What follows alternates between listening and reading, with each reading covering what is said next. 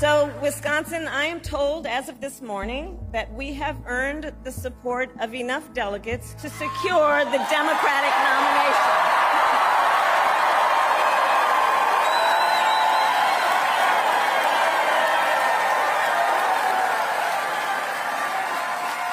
And I am so very honored, and I pledge to you I will spend the coming weeks continuing to unite our party so that we are ready to win in November.